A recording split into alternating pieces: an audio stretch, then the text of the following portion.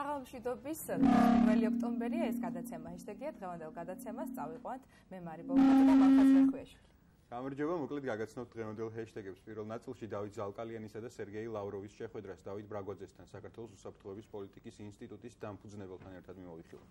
გადაცემის მეორე ნაწილში ჩვენ მაიენასაშვილი შემოგვერთდება დანაშაულის პრევენციის ცენტრის პირველი დონის დანაშაულის პრევენციის სამართლოს ყოფილი ხელმძღვანელი და ვისაუბრებთ როგორც მის სამართლებრივ დავაზე იუსტიციის სამინისტროსთან, ასევე ბოლო დროს მომხდარ მოვლენებზე და სახელმწიფოს როლზე.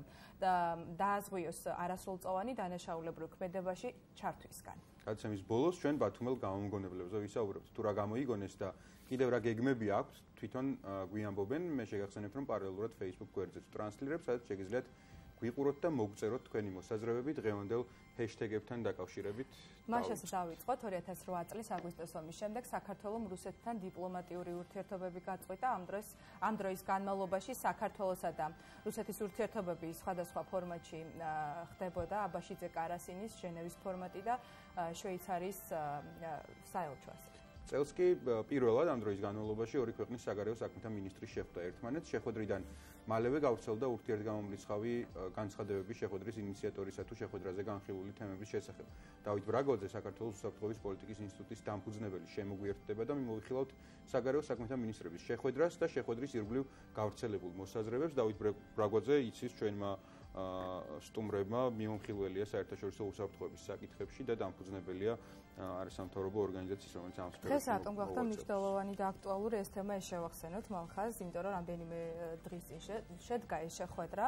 თუმცა დღეს კვლავ წამოიწია ეს თემა იმიტომ რომ ოპოზიციას კონკრეტულად ნაციონალურ მოძრაობას სურდა რომ მინისტრი მისულიყო მათთან შეხვედრაზე კომისიის ფორმატში და გაეცა კითხვებისთვის პასუხი. თუმცა ჩვენ როგორც ვიცით პარლამენტში დაიბარეს მინისტრი და რომან გოცირიძე ოპოზიციის ერთ-ერთი ლიდერი სწორედ ამ ამიტომ იყო განრისხებული დღეს რომ სასათბურე პირობები შეუქმნესო პრინციპში მინისტრს რომ არ დაისვას მწვავე კითხვები და დაიცვერსო პრინციპი მინისტრის საათის ფორმატი განსხვავდება საკომიტეტო და ფრაქციის შეხვედრებისგან შესაბამისად აქ ნაკლები შანსი იქნება ოპოზიციის მხრიდან წავე კითხვების დასმის, თუმცა ყოველთვის ექსპერტები და ოპოზიცია საუბრობენ ერთ-ერთზე რა საფრთხეებია რუსეთთან მოლაპარაკების დროს. მოკლედ ამ და სხვა კითხვებით გადავალ ჩვენ. უამრავი განსხვავებული შეფასება გაკეთდა ამ დროის განმავლობაში და ეხლა ჩვენ დავითსაც უნდა ვკითხოთ მისი მოსაზრება. დავით, საღამომშვიდობის. საღამომშვიდობის მოგესალმებით. მოკლედ პირდაპირ კითხავთ, აი 11 წლიანი პაუზის შემდეგ რუსეთ საქართველოს შორის პირისპირ შეხვედრას როგორ შეაფასებთ ამით დავით? აა ხო, ძალიან საინტერესო ამბავია. თავისთავად შეხვედრაში არაფერი ტრაგიკული ჩემი აზრით არ არის და აბსოლუტურად ნორმალურია მე მგონი საქართველოსში არც საექსპერტო წრეებში და არც პოლიტიკურ წრეებში, მათ შორის რუსეთს მიმართ რადიკალურად განწყობილ, რადიკალურად უარყოფითად განწყობილ პოლიტიკურ წრეებში არავინ საუბრობს იმაზე, რომ საერთოდ არ უნდა ველაპარაკოთ რუსეთს. აა საუბარი და კამათი ძირთად მიდის ფორმებზე თუ რა ფორმით უნდა გქონდეს ჩვენ ოკუპანტთან კომუნიკაცია. ამ შემთხვევაში მე ადრეც აღნიშნე და ეხლაც გავიმეორებ თქვენს ეთერში, რომ ჩემი აზრით თავარ პრობლემას წარმოადგენდა კომუნიკაციის ნაკლებობა, როგორც სამოქალაქო თუ გნებავთ პოლიტიკურ წრეებთან, ისე სრულიად საქართველოს მოსახლეობასთან. ჩვენ რომ პრაქტიკულად პოსტფაქტუმ არ გავგეგო ამ შეხვედრის შესახებ, ან ძალიან ცოტა ხნით ადრე გავიგეთ, ვიდრე ეს შეხვედრა შედგებოდა, მე მგონი რომ ამ ხელ აუზაური ამ ყველაფერს არ მოყვებოდა. ამ კომუნიკაციის ნაკლებობამ დატოვა ძალიან დიდი სივრცე კონსპირაციული თეორიებისთვის და დღეს ხელისუფლების ოპონენტებს აქვს საშუალება იმაზე ისაუბრონ, რომ ეს იყო რაღაც პირისპირ შეხვედრის ან პირდაპირ დიალოგის პირველი პრეცედენტი რუსეთ-საქართველოს შორის 2008 წლის აგვისტოს ომის მერე. ну, თუმცა ფორმალურად ალბათ ხელისუფლებასაც აქვს არგუმენტი და აქ საუბარია იმაზე, რომ შვეიცარიული მხარე შუამდგომლობდა ამ ყველაფერს და ეს ფორმალურად არ შეიძლება ჩავთვალოთ პირდაპირ დიალოგის ფორმატად. თუმცა, ну, კიდე ერთხელ ალბათ თავარ პრობლემას წარმოადგენდა ზუსტად ის კომუნიკაციის არარსეობა და საერთოდ სტრატეგიული კომუნიკაციის პრობლემა ხელისუფლების მხრიდან შეინიშნება საკმაოდ ხშირად, რა. ალბათ ჯობდა რომ მეტი გწოდნოდა და უფრო ადრე გწოდნოდა ამ შეხვედრის შესახებ. თუმცა მე დიახ, როცა საუბრობთ ამ შეხვედრაზე, შენ ახსენე რომ შვეიცარია გამოდიოდა შუამდგომლის სტატუსით ასე რომ ვთქვა, თუმცა შვეიცარია არის იმ სახელმწიფოებს შორის, რომელიც ალბათ არ გამორიცხავს იმას, რომ პირისპირ დავრჩით რუსეთთან, ხო, ამის სტატუსიდან გამომდინარე. სტრატეგიული კომუნიკაციების პრობლემა ახსენე შენს. და აი ერთ-ერთზე რატო არ იყო ეს შეხვედრა? ერთ-ერთზე გამართული მოლაპარაკება რუსეთთან და თუ იყო ერთ-ერთზე გამართული მოლაპარაკება რუსეთთან მაშინ რა საფრთხეებს შეიცავს? იმიტომ რომ ხშირად საუბრობთ რომ მარტო არ დავრჩეთ რუსეთთან მოლაპარაკებების მაგიდაზე რატომ რა რა არის ასეთი ცუდი ერთ-ერთზე დარჩენაში? აა ხო, ბუნებრივია აჯობებდა ალბათ რომ ამ შეხვედრის შუამავლის ფუნქცია ამ შეხვედრაში ეტვირთა არა შვეიცარია სიტყვაზე, არამედ ეტვირთა დაუშვათ შეერთებულ შტატებს ან ევროკავშირს ან უფრო დიდ აქტორს ვიდრე შვეიცარია. თუმცა იქიდან გამომდინარე რომ შვეიცარია ზოგადად წარმოადგენს ესეთ შუამავალ სახელმწიფოს 2008 წლის ომის მერე რუსეთ-საქართველოს ურთიერთობებში, ცხადია ლოგიკური იყო ისიც რომ შვეიცარია აღმოჩნდა იმ მდგომარეობაში. აა რაც შეეხება პირდაპირი იყო თუ არ იყო. ჩემთვის ძალიან ძნელია ამაზე პასუხისგაცემა. კიდე ერთხელ გავიმეორებ, რომ ძალიან დიდი სივრცეა დატოვებული აქ კონსპირაციული თეორიებისთვის. ბევრი ფაქტორიდან გამომდინარე, პირველი ის, რომ ძალიან გვიან გავიგეთ ამ შეხვედრის შესახებ და არ გაგვიგია ეს რაღაც აი გავიგეთ რაღაცა შემოვლითი გზებით, ასე ვთქვათ, და პრაქტიკულად უკვე შეხვედრა იწყებოდა, როცა ჩვენ ამის შესახებ შევიტყეთ. არავინ მე მგონი საქართველოსში ამის შესახებ არ იცოდა, არც საექსპერტო წრეებში და მე ხომ მოსახლეობამ არ იცოდა ისედაც ვიცით, ერთადერთი არ გუშინ თქვა ნინო გურჯანაძე რომ მე ვიცოდიო რომ ეს შეხვედრა შედგებოდა, არ ვიცი საიდან იცოდა თუ მართალს ამბობს, საიდან იცოდა ეგეც საკითხავია, თუ არ დავით, აქვე კითხავთ, ბარემ განსხვავებული შეფასებები მოყვა სწორედ შეხვედრის ჩანიშნის თემას. ანუ ვინ იყო ინიციატორი? ჩვენ ნახეთ რომ ლავროვმა თქვა რომ ქართული მხარის მოთხოვნით შედგა ეს შეხვედრა, ხომ? რა რაზე შეიძლება მიანიშნებდეს ეს ფაქტი? მაგის თვალს მინდოდა, ანუ მეორე მეორეა ფაქტორი, რაც ამ კონსპირაციული თეორიებისთვის სივრცეს აჩენს. არის ზუსტად ეგ, რომ ურთიერთ გამომრიცხავი და ურთიერთ საწინააღმდეგო გზავნილები იყო. პრინციპში ეს არ იყო მოულოდნელი, რომ ეხლა ზალკალიანი სხვა სიტყვა და ლავროვის სხვა სიტყვა და ამ შეხვედრის მერე. თუმცა საბოლოო ჯამში, ნუ ლავროვის ცოტა არ იყოს დააგდებული დამოკიდებულება ამ შეხვედრის მიმართ, ეხლა ჩვენ თუ მოვისმენდით მის პრეს-კონფერენციას, ადვილად ჩანდა, რომ ის საკმაოდ არასერიოზულად უყურებდა ამ ყველაფერს, გაცილებით უნიშნელო კითხვებს გასცა პასუხი მანამდე, ვიდრე ამ თემას შეეხებოდა და უშუალოდ ეწეოდა თუ არა გაეროს ოფისში სიგარეს და ესეთ რაღაც არაფრის მომცემ კითხვებს და ამის შემდეგ გადავიდა ამ საკითხზე და ნუ მანვე თქვა, რომ ფრენების საკითხი იყო ამ შეხვედრის ძირითადი სალაპარაკო თემა. რაც შეეხება საქართველოს ხელისუფლებას, ნუ ჩვენ მოვისმენთ გზავნილები რო აქ საუბარი იყო ოკუპაციაზე, ბორდერიზაციაზე და ფუნდამენტურ პრობლემებზე, რომელიც დღეს აწუხებს ჩვენ სახელმწიფოს, თუმცა მოგვიანებით, ნუ გაჟღერდა ხელისუფლების წარმომადგენელთა მხრიდან ისეთი კომენტარებიც გაკეთდა, რომ კი, ისინიც პრინციპში აღიარებენ იმას, რომ შეხვედრის ორგანიზ შეხვედრის ინიციატორი ქართული მხარე გამოვიდა, აღიარებენ იმასაც, რომ ძირითადი სალაპარაკო თემა იყო ფრენები. ეხლა რაც შეეხება იმას ამასაც აქვს თავისი არგუმენტები, ხო ბუნებრივია რაღაც საარჩევნო წელია, რაღაც ეკონომიკური მდგომარეობა, არც ისე სახარბიელოა ქვეყანაში იმის გათვალისწინებით, რომ არჩევნები კარს არის მომდგარი, ხელისუფლება ცდილობს, რომ ყველა გზა გამოიყენოს და ყველა რესურს ჩაეჭიდოს იმისთვის, რომ ეს მდგომარეობა ოდნავ მაინც გაუმჯობესდეს, ხო და ფრენები და ტურიზმის საკითხზე იყო დღევანდელ კომენტარებში საუბარი, მათ შორის პრემიერ-მინისტრის მხრიდან. მე სიმართლე გითხრათ, პრობლემათ არ მიმაჩნია. კიდე ერთხელ გავიმეორებ არასწორად რო არ იქნეს ვინმეს მხრიდან ახლა პრობლემათ არ მიმაჩნია არც ის რომ ინიციატორი იყო თუნდაც საქართველოს ამ შეხვედრის. არსებობს რაღაც კრიტიკული სიტუაციები კრიტიკული ვითარებები როდესაც შეიძლება ჩვენც ვიყოთ ასეთ შეხვედრების ორგანიზატორი ის ინიციატორი უფრო სწორად. თუმცა ნიშნულოვნად მიმაჩნია რომ საქართველოს მოსახლეობამ იცოდეს რაზე იქნება საუბარი და ეს არ არ გაიგოს წინა დღეს ესეთი შეხვედრების შესახებ. რაც შეეხება თქვენ მიერ დასმულ შეკითხვას პირდაპირ დიალოგით და მასთან დაკავშირებულ საფრთხეებზე, ამაზე მე ჩამოყალიბებული აზრი მაქვს დიდი ხანია, მე მიმაჩნია რომ რუსეთთან პირდაპირ დიალოგი იმ მოცემულობაში, როდესაც ის არაპირებს დაგვითმოს ჩვენ არაფერი, ჩვენთვის ყველაზე მთავარ საკითხს, ეს არის ოკუპაციის და ჩვენი ოკუპირებული ტერიტორიების აღიარების საკითხი, გაცხადებული პოზიცია აქვს, რომ ეს არ გადაიხედება და საერთოდ არ ექვემდებარება მათი მხრიდან განხილვას. ასეთი დამოკიდებულების პირობებში მე ძნელად წარმომიდგენია რა სარგებელი შეიძლება მიიღოს საქართველოს ასეთი ფორმატის შეხვედრებისგან.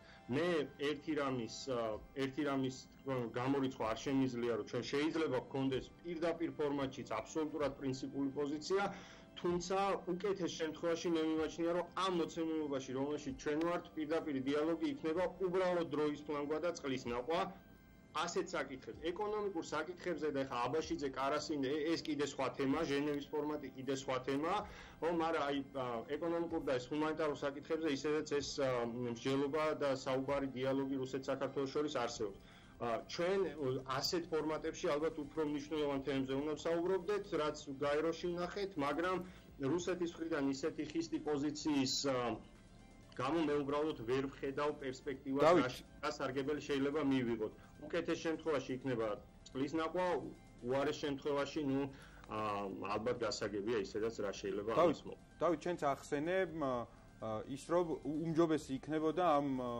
შეხვედრაზე შუამავალი ყოფილიყო არა შვეიცარია, არამედ ამერიკის შეერთებული შტატები, გაერთიანებული სამეფო, ევროკავშირი, საფრანგეთი ან რომელიმე სხვა გლობალური აქტორი, ხო, საერთაშორისო არენაზე.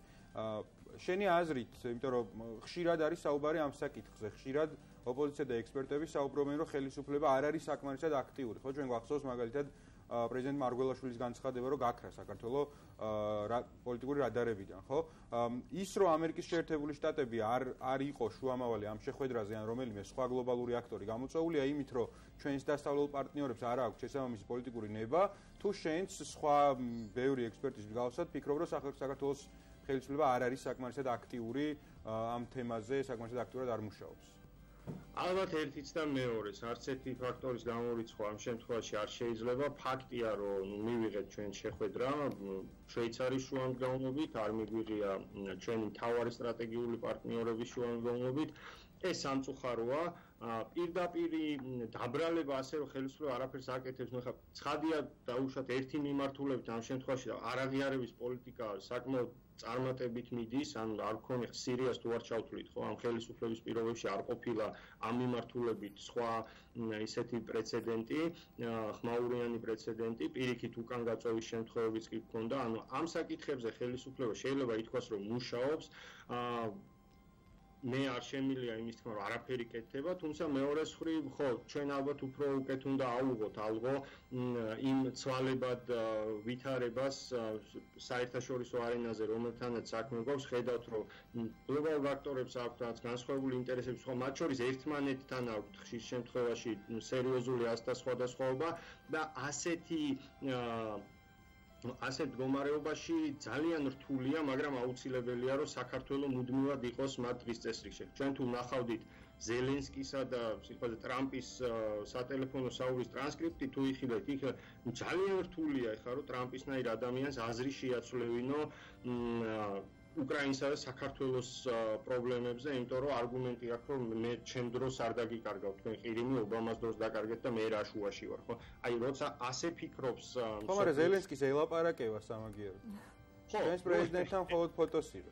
ხო, ეს კიდე გასაგებია, ნუ ხა აქ ბევრი რამეზე შეიძლება გქონდეს ჩვენ აქცენტი და სხვა სხვადასხვა მხარეს შეიძლება სხვადასხვა რამეზე გააკეთოს აქცენტები მე არ მიგვიც რომ საქართველოს პრეზიდენტს ამერიკის პრეზიდენტი არ ელაპარაკება, იმიტომ რომ ალბათ არ არის ალოგიკური რომ უფუნქციოდ დარჩენილი პრეზიდენტის პრეზიდენტთან ასეთი ამ სიგზე და ასეთი გლობალურ თემებზე საუბრისთვის ამერიკის შეერთებული შტატების პრეზიდენტს არ სწალი.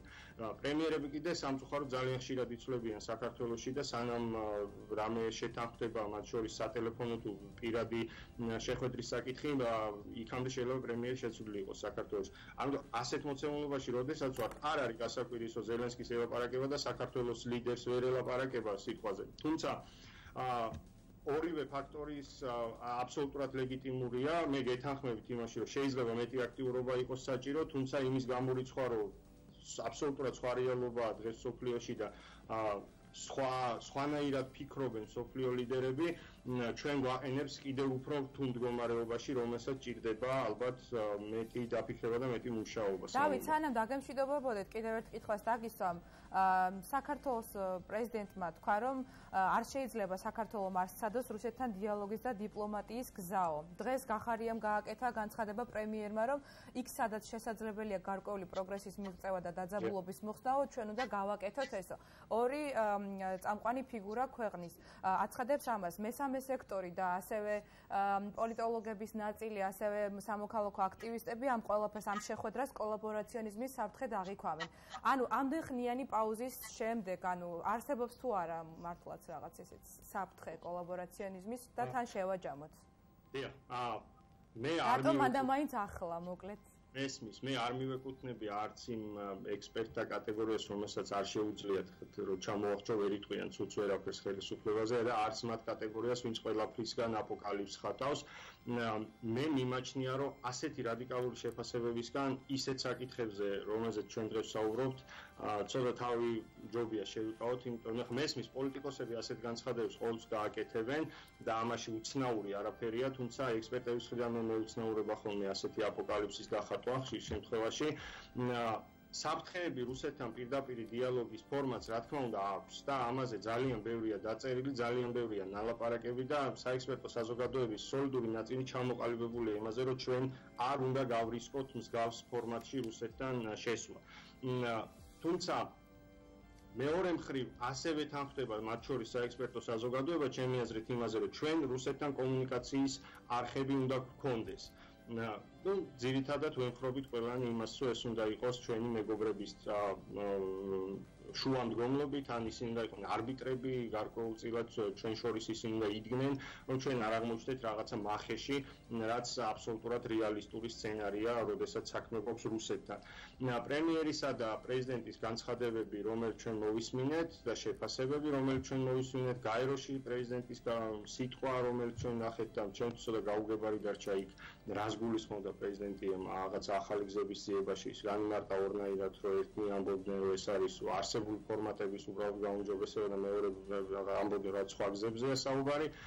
პრემიერის ზავნილი იმის შესახებ რომ ოკუპაციის პრობლემის ამ ფუნდამენტური პრობლემის მოგვარება ძნელია მაგრამ არსებობს საკითხები რომლის მოგვარება შეიძლება მარტივად ჩვენ ვეცდებით რომ დაძაბულობა ნებისმიერ დონეზე შევამციროთ არ ვიცი ეს რისკები ალბათ თვითონ ხელისუფლებას კარგად უნდა ქონდეს გაცნობიერებული თუ ის ამ დაძაბულობის შემცირების გზად ირჩევს რუსეთთან პირდაპირ დიალოგს სავარაუდოდ უნდა ნაფიქრის ქონდეს იმაზე უნდა მოყვეს ამას. მე მე არ მივეკუთვნები მათ კატეგორიას, ვინც მომხრია რუსეთთან პირდაპირ დიალოგის ყოველგვარი ესეთი პირობების და შუამავლების გარეშე. დავით, ბადლობა უნდა გადაგიხადო, უნდა დაგემშვიდობოთ სამწუხაროდ დროში ვარ შეზღუდულები დავით ბრაგვაძე საქართველოს უსაფრთხოების პოლიტიკის ინსტიტუტის დამფუძნებელი იყო ჩვენი Skype სტუმარი და მიმოვიხილეთ სერგეი ლავროვსა და ჩვენს საგარეო საქმეთა მინისტრს დავით ალკალიანს შორის შეხვედრის ირგულივ რაღაც გავრცელებული ამბები. და ნუ შეხვედრის ანუ ალკალიანი და მივიდეს პარლამენტში და უფრო მეტი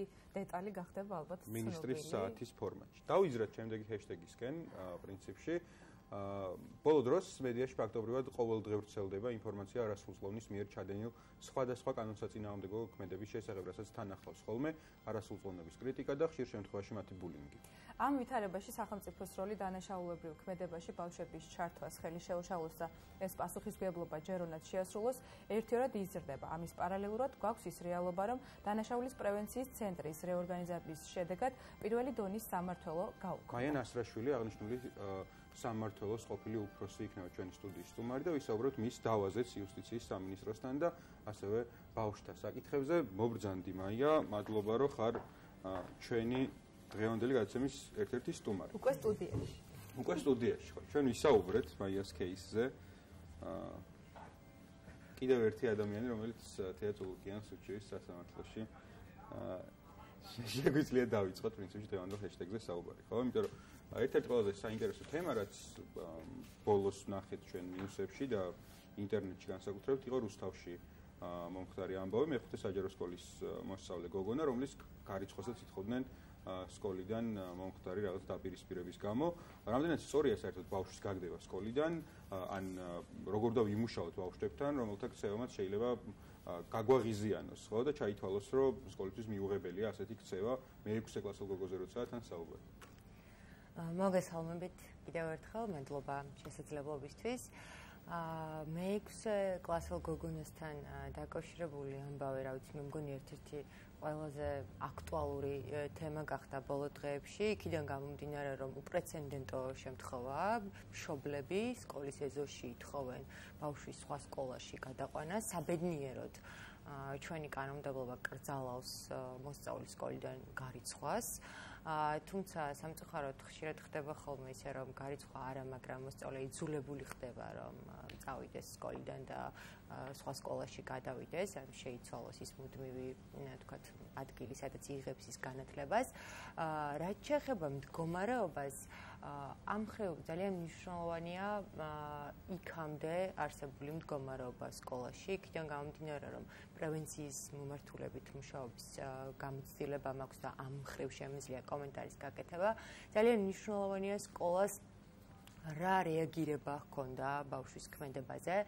აა პედაგოგებს, სკოლის ადმინისტრაციას, მანდატურის სამსახურს როგორი რეაგირება ჰქონდა ამ ყოველივეზე და ეს რეაგირება რამდენად იყო რეალურად ეფექტური, იმიტომ რომ დაუშვებელია სახელმწიფომ, დაუშვებელია სკოლამ, საზოგადოებამ, მშობლებმა აღქვან ბავშვი როგორც პრობლემად, იმიტომ რომ ეს იწვევს მთელ რიგ ფსიქოლოგიურ, ფსიქიკურ პრობლემებს, არა მხოლოდ კონკრეტულად იმ ბავშვის მიმართ, არამედ იმ დანარჩენი მოსწავლეების მიმართ, რომლებიც სკოლაში ამას ხედავენ და ბუნებრივია სხვა ბავშვები, რომლებიც ქვეყანაში ცხოვრობენ და საინფორმაციო საშუალებით იგებენ, რომ მშობლები უწყობენ პროტესტს მეექვსე კლასელ ბავშვს არასრულწლოვანს.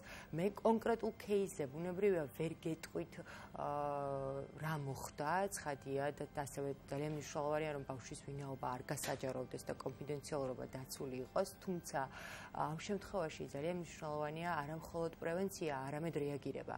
როგორ დაეხმარებიან ბავშვს, როგორ დაეხმარებიან, როგორ როგორი რეაგირება მოყვება მის აქციელს. ეს გახდა ცნობილი მაია რომ ბავშვი რომელიც გუშინდელი ინციდენტის სავარაუდოდ დაუდასტურებლად ერთ-ერთი მთავარი მონაწილეა დაბრუნდა საგაკვეთილო პროცესში ჩაერთო.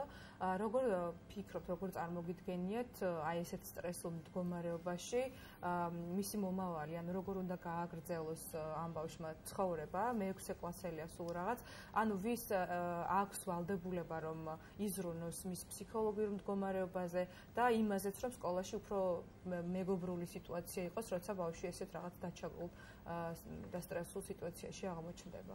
აა მარიამ, თქვენი კითხვა ზუსტად ეხება აი იმ ფსიქოლოგიურ ფაქტორებს, იმიტომ რომ რეალურად მას შეუქმნეს მტრული გარემო. მას მე ნახე ინტერვიუ, სადაც საუბრობს უშუალოდ კონკრეტულად პედაგოგი, სადაც საუბრობენ სხვა დანარჩენი პედაგოგები. ეს ყველაფერი არის მასტიგმატიზირებელი ბუნებრივია. ასევე ის იქნება სხვა დანარჩენი თანატოლების მხრიდან ბულინგის და ჩაგვრის მსხვერპლი. ამაზე პირდაპირ ვალდებულება ბუნებრივია გააჩნია განათლების და მეცნიერების სამინისტროს, რომელმაც პასუხისგებლობა უნდა აიღოს სკოლაში უსაფრთხო დაცულ გარემოზე და ასევე ძალიან მნიშვნელოვანია მთლიანად არა მხოლოდ კონკრეტულად ერთი кейსის მიმართ, არამედ ზოგადად პოლიტიკა.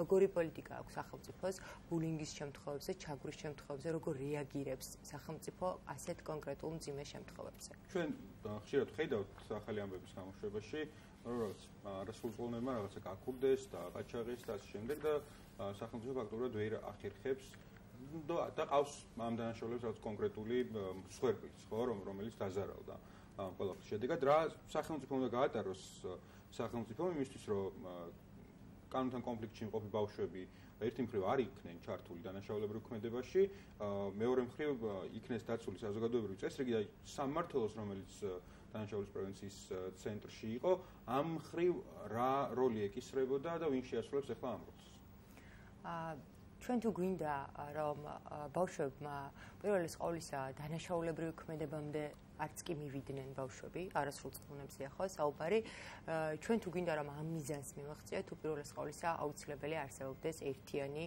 პოლიტიკა, სახელმწიფოს ერთიანი პოლიტიკა. ერთიანი პოლიტიკა, რომლის მთავარი მიზანი იქნება ბავშვის სოციალიზაცია. ჩვენ შემთხვევაში სამწუხაროდ ამის მოხერხება პრაქტიკაში ძალიან გვიჭირს. თუ კი არასრულწლოვანი უკვე არის რისკის ქვეშ და ამას აქვს კონკრეტული შესაბამისი ნიშნები, რა შემთხვევაში შეიძლება ჩაითვალოს არასრულწლოვანი დანაშაულის ჩადენით რისკის ქვეშ, ასეთ შემთხვევაში სახელმწიფო შესაბამისი ზომები უნდა მიიღოს და შესაბამის ზომებში იგულისხმება როგორც ინდივიდუალური მუშაობა, სოციალური მუშაკის, ფსიქოლოგის მიმართ, ასევე ჯგუფური მუშაობა. ასევე ძალიან მნიშვნელოვანია მშობლის ჩართულობა ასეთ დროს.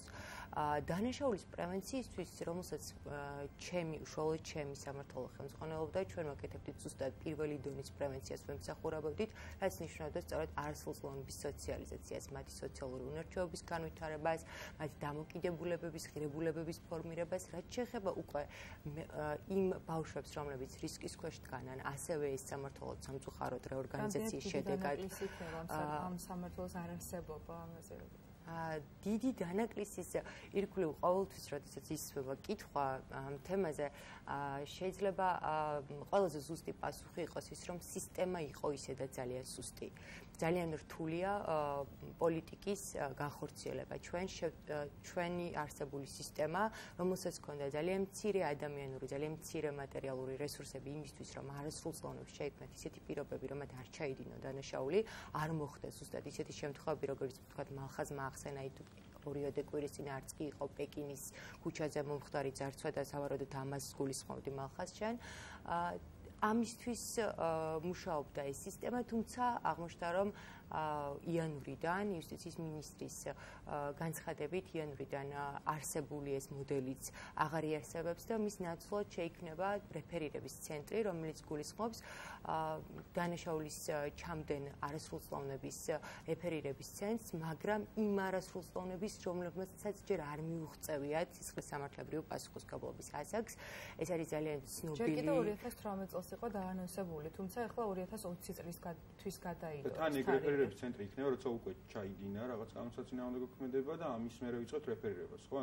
პრევენციის მექანიზმი ექნება ამ ცენტრში? აა ბუნებრივია პრევენციის მექანიზმის ცენტრის იდეა სწორედ არის პრევენციის მექანიზმი, რომ იმ ბავშვებმა, რომელმაც ჩაიდინა, ჩაიდინეს, ან შესაძლოა ჩაიდინონ, ანუ რისკის ქვეშ არიან, მაგრამ აქ პრობლემა იმაში არ არის, რომ რეფერირების ცენტრის სამიზნე ჯგუფია 14 წლის 14 წლამდე პირები. პრობლემა და გამოწვევა, რომელიც რეალურად ახალმა პოლიტიკამ დააყენა, არის ის, რომ 14-დან 18 წლამდე არასრულწლოვნები რჩებიან სახელმწიფოს ყურადღებას ყურადღების მიღმა. ანუ ის პირები, ვისაც შეიძლება, ვინც შეიძლება ჩაიდინეს დანაშაული, ან მომავალში შეიძლება მათ ჩაიდინონ დანაშაული 14-დან 18 წლამდე არასრულწლოვნები ფაქტობრივად სახელმწიფოს ყურადღების მიღმა რჩებიან. მაია, შენ სამბალზე შეიძლება კითხოთ, მახალს ვიცი რომ ამაზე აქ ხო ამაზე გადასვლა უნდა, მაგრამ მანამდე მინდა კითხო, მაინტერესებს. მე მინდა პროდიუსერს უნდა. ხო ჩვენ არ გვაქვს კონკრეტული სტატისტიკა რამდენია იმ ბავშვების რაოდენობა რომლებიც დანაშაულს ჩადიან. თუმცა გაეროს ბავშვთა ფონდის წარმომადგენელმა თქვა რომ ეს სტატისტიკა ანუ დაკვირვებით მზარდია წლიდან წლამდე. თუ გაქვთ ინფორმაცია ძირითადად რა ხდება მიზეზი მოტივი რის გამოც ეს ბავშვები დანაშაულს ჩადიან?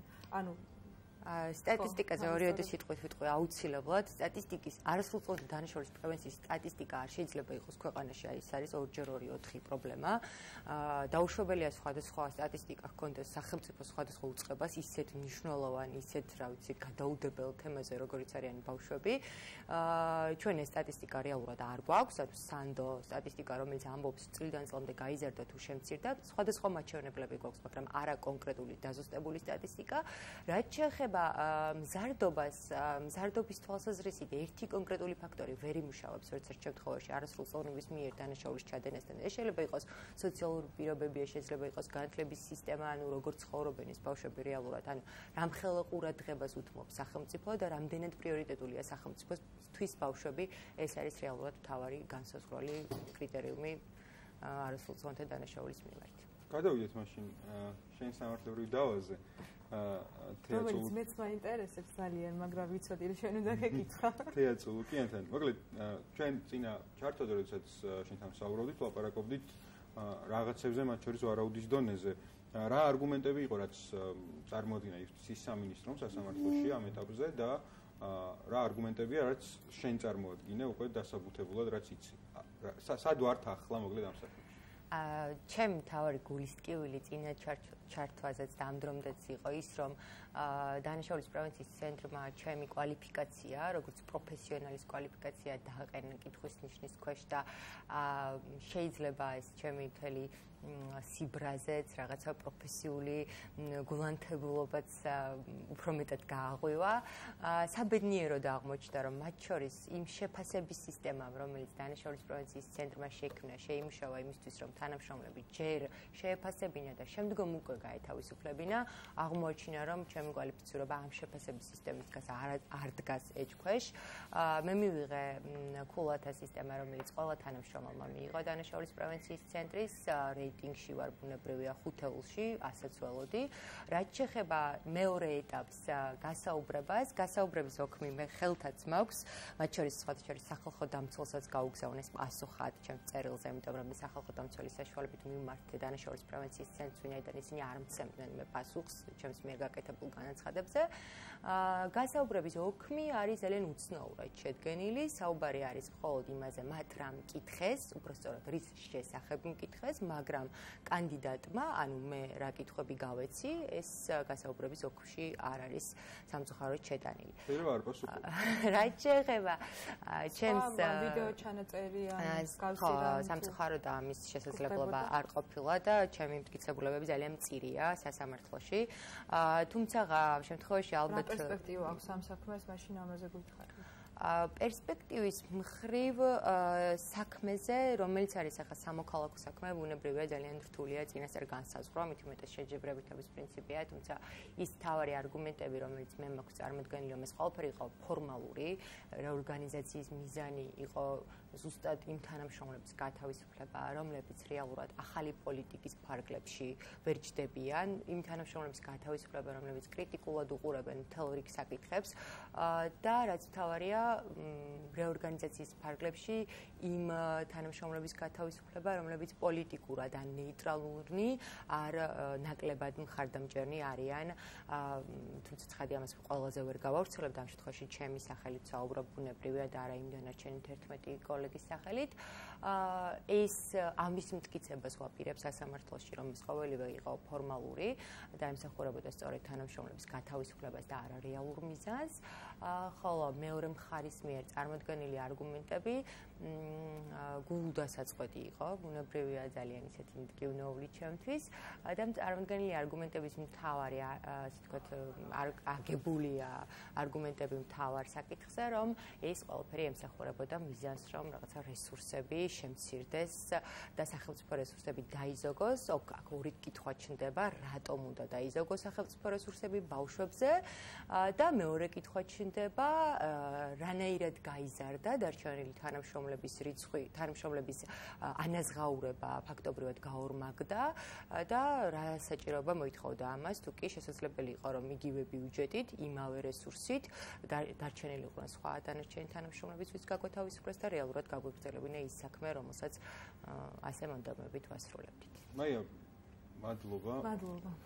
და წარმატება უნდა გისურვოთ, იმიტომ რომ ძალიან მნიშვნელოვანი სამართლო იყო ფიქრობ თქვენი სამართლო და ასევე მნიშვნელოვანია რომ თქვენი უფლება დაიცვათ. თუ თვლით რომ თქვენი უფლებები შეიზღუდა. ა პრინციპში მადლობა დაგემშვიდობებით მაია და მადლობა იმისთვისაც რომ გამოცდილებას გვიზიარებთ ჩვენ ტელევიზიაში ისეთი მდგომარეობა შექმნილი შეიძლება ჩვენც მოგვიწიოს. მაგრამ ჩვენ ასაკობრივ კატეგორიას ასაკობრივ კატეგორიას მაიას შემთხვევაში მაიას ფთის ქვეშ ვერ ვიქნებით. მაია ძალიან დიდი მადლობა. მაია ნასრაშვილი იყო ჩვენი გადაცემის სტუმარი რომელიც დანაშაულის პრევენციის ცენტრის ყოფილი თანამშრომელია და ახლა მისი უფლებების დასაცავად იბრძვის სასამართლოში და იმედი გვაქვს რომ ბავშვებზე ზრუნვას გააგრძელებთ მაინც რაღაც ფორმით.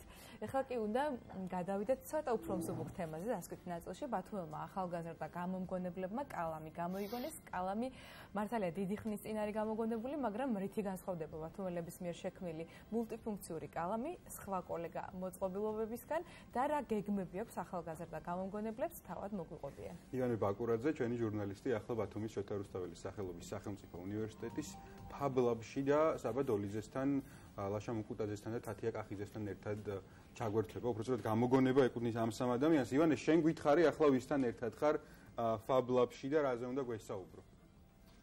ივანე, გესმით? მოგესალმებით. დიახ, მშვენივრად მესმის თქვენი ხმა, მალხას მარი მოგესალმები, მივესალმები ჩვენს მაყურებელს.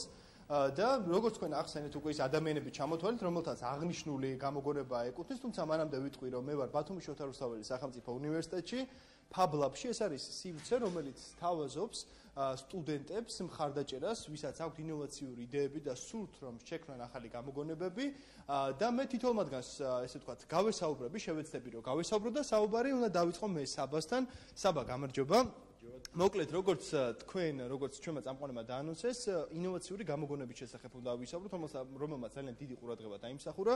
საბა დავიწყოთ აღნიშნული გამოგონება. რას გულისხმობს და საიდან დაიწყო იდეა საიდან წამოვიდა იდეა რომ ეს პროტოტიპი შეგექმნათ მივესალმებით თქვენს მაყურებლებს. თავიდან ჩვენ უნივერსიტეტში ბათუმის შოთა რუსთაველის სახელმწიფო უნივერსიტეტში გავიგეთ რომ გამოცხადდა კონკურსი ინოვაციური ბიზნეს იდეების შესახებ საკმაოდ დიდი ინტერესი გამოიწვია მან ჩვენში.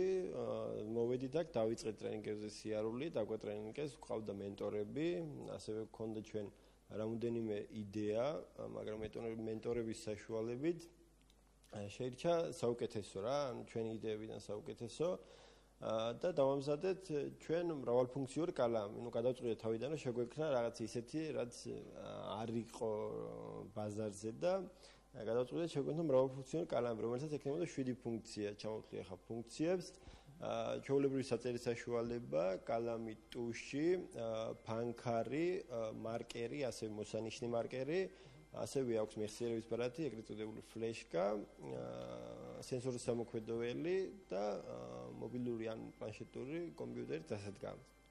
აა თან ამ იდეებთან ერთად როცა 7 იდეა იყო უნდა გაგვერთიანები ერთ სიუცეში ერგონომიკულადაც ისე კარგად გადავწყვეტეთ რომ ჩვეულებრივი კალმებისგან ვიზუალურადაც დიდად ფორმებით და რაღაც არ განსხვავდება და მაქსიმალურად დატვირთულია ფუნქციებით და ვიზუალით შესაბამისად კარგი აქვს.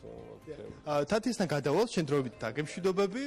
ჩვენ თათიას გვერდება და როგორც ვახსენეთ, ძალიან დიდ წარმატებას მიაღწია აღნიშნულმა პროცეს პროექტმა ესპანეთში ვალენსიაში იყავით თქვენ. აი ამ მოგზაურობის შესახებ რა მოგვიყვეთ, სად იყავით, რა გამოხმაურება მოხდა თქვენს პროექტს და რა გამოცდილება შეიძინეთ იქ? პირველ რიგში მოგესალმებით. მართალია ჩვენ ჩვენ ვიყავით ვალენსიაში, პოლიტექნიკურ უნივერსიტეტში, სადაც ჩატარდა ეს პროექტი.